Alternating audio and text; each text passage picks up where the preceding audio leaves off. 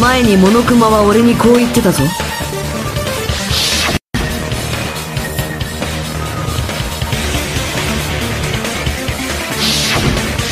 あのトートバッグを手に入れた奴はそれと同じものをもう一つ持ってるはずなんだ。つまりあのバッグを2つの場所で使うのは不可能でも何でもないんだ。だからそんな苦し紛れの言い訳なんてもうやめてくれ。どうし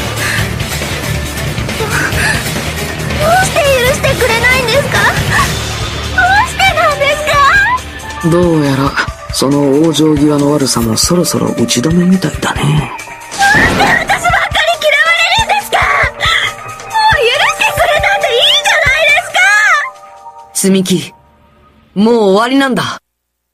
最後にお前の犯行を頭から振り返ってそれで反論がなければもう認めてくれ。最後くらいお前を信じさせてくれよ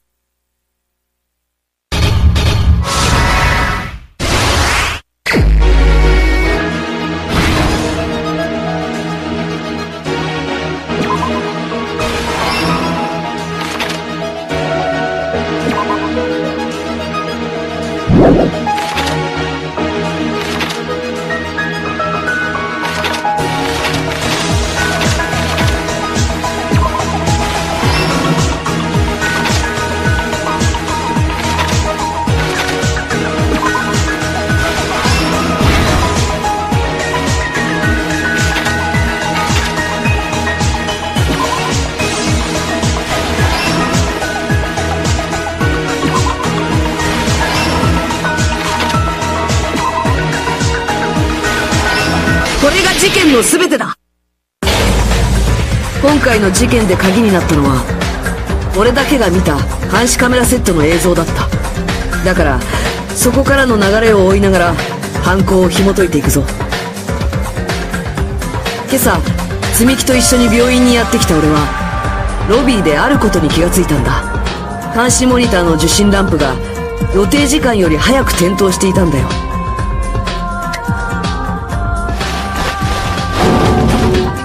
俺がモニターのスイッチを押してみるとそこに映ったのは麻袋をかぶった患者服姿の誰かが今まさに首吊りをしようとしている姿だった。もともとあの監視カメラセットは病院とライブハウスの通信用に用意したものだったからその映像の通信元はライブハウスのはず。そう思った俺はすぐにライブハウスへと向かった。でもそれは犯人の罠だった。実はその映像は別の場所で撮影されたものだったんだ。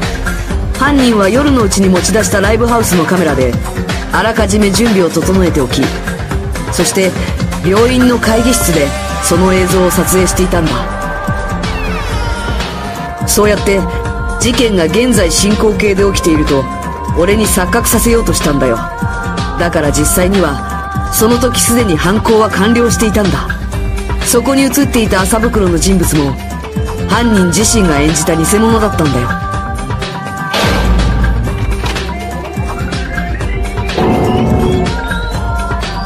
それを知らない俺はライブハウスに行き麻袋をかぶった人物の首吊り死体を発見したんだ。死体を目の当たりにして動揺した俺は慌てて他のみんなを呼びに行ってしまった。だけどそれも犯人の罠だったんだ。犯人は病院の会議室を片付けた後ライブハウスを外から見張っていたんだろうな。そして俺と入れ替わるようにライブハウスの中へと入っていくと最後の仕掛けに取り掛かったんだ。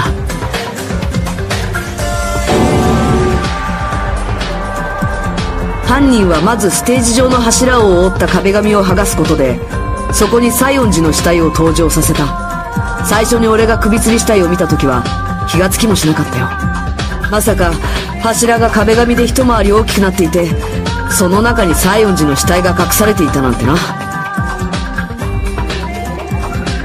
そして次に犯人が行ったのは会議室で使用した監視カメラの処分だった。犯人は持ち出していた監視カメラを破壊し現場にあった監視モニターの残骸に混ぜたんだ。犯人が使った監視カメラはもともとライブハウスから持ち出したものなんだけど犯人はそれを持ち出す際にモニターの方だけを破壊しておいたんだ。そこにカメラだけがないという事実を隠すためにな。そして最後に犯人は現場の密室化を行った。倉庫にあったドラムスティックを折ってライブハウスの入り口付近に置いたんだ。ただこれはライブハウスが内側から封鎖されたと俺たちにミスリードさせるためのものなんだ。実際にライブハウスを密室にしたのは接着剤だったんだ。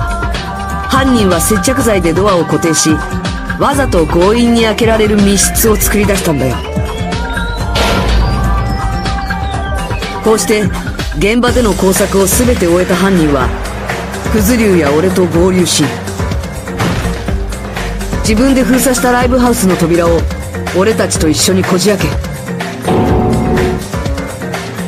ミオだと突然現れた西園寺の死体を俺たちに発見させたんだ。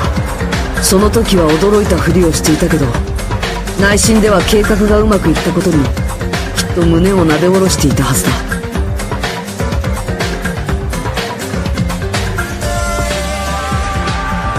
そうなんだろ積み木これがお前の仕組んだ犯行なんだろう？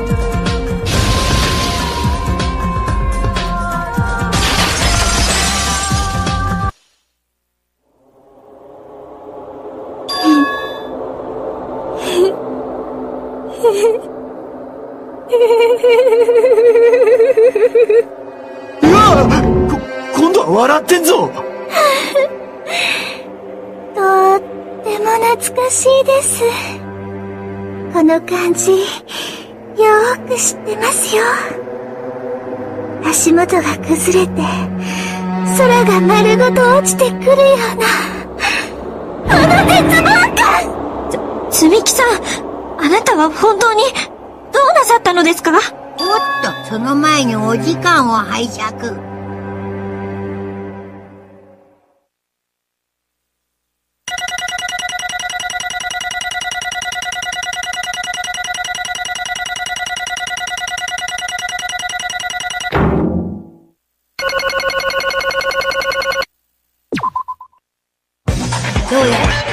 結論が出たようなので、毎度おなじみの投票タイムといきましょうか。では、お前らはお手元のスイッチを押して投票してください。投票の結果、プロとなるのは誰か？その答えは正解なのか、不正解なのか